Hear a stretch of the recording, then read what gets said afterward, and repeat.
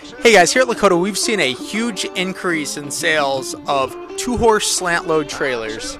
Primarily, they've been trailers with 7 foot to 11 foot short walls, but we can do a number of models larger than that.